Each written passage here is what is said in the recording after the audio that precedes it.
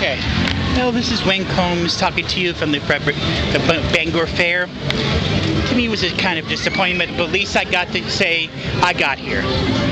Thanks to this lady right here, I was able to do so.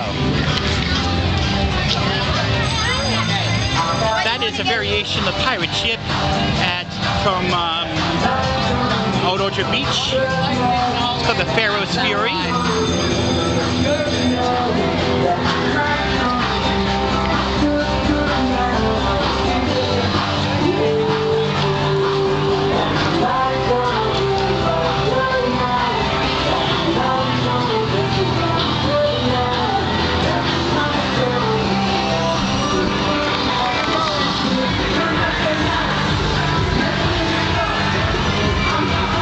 So because they, have, they complain about it, I'll stop this right now.